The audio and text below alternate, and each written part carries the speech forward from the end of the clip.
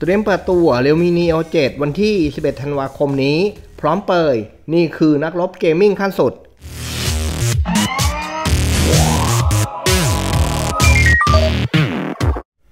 เริ่มปล่อย teaser ออกมาอย่างต่อเนื่องแล้วนะครับสำหรับ Realme Neo 7เรือธงรุ่นกลางรุ่นถัดไปของ Realme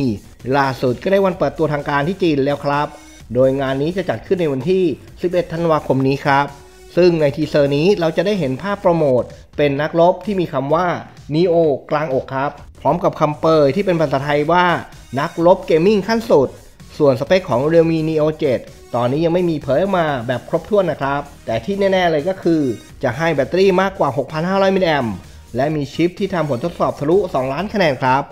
ซึ่งความน่าสนใจนอกจากสเปคและความแรงแล้ว Realme Neo 7 ที่ว่ากันว่าจะมีราคาไม่แรง คือไม่ถึง 12,000 บาทครับ